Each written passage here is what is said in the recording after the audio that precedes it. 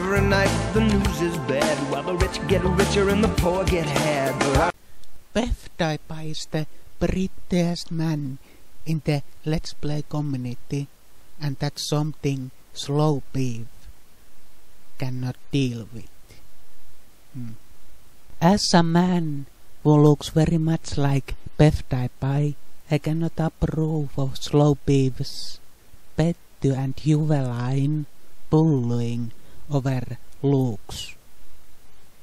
I have already sent two 20 minute videos of my flashy dick to be superimposed over Slowbeef's disgusting little face.